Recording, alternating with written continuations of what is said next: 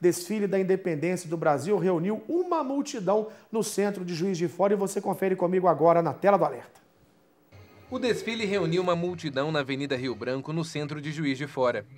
Dorcelina tem 87 anos e fez questão de estar no evento. Sempre participando. Enquanto tiver vida, puder andar, eu participo. Bernardo veio com traje militar acompanhar o desfile junto com a mãe. Essa roupa aqui já era de Brasília, né?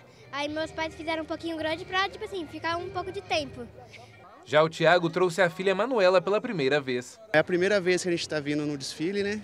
Que ela tem três anos de idade, é a primeira vez e vamos mostrar para ela a importância desse evento, ela aprender pra, na geração, ela, futuramente, ela já saber entender o que é o 7 de setembro. O Brasil celebra os 202 anos de independência. A data também marca os 80 anos da Força Aproximadamente 3 mil pessoas participaram do desfiles, além de diferentes instituições. Os blindados engrandeceram o desfile. Ao todo foram 62 viaturas que por quase uma hora força das instituições que atuam na região. De acordo com o Exército Brasileiro, 2.224 integrantes da corporação, incluindo as escolas militares, participaram das comemorações. Outras instituições também estiveram presentes.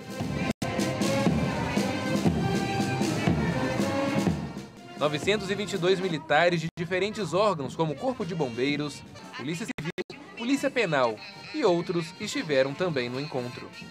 Os mascotes do Corpo de Bombeiros e da Defesa Civil engrandeceram a festa da independência e alegraram as crianças.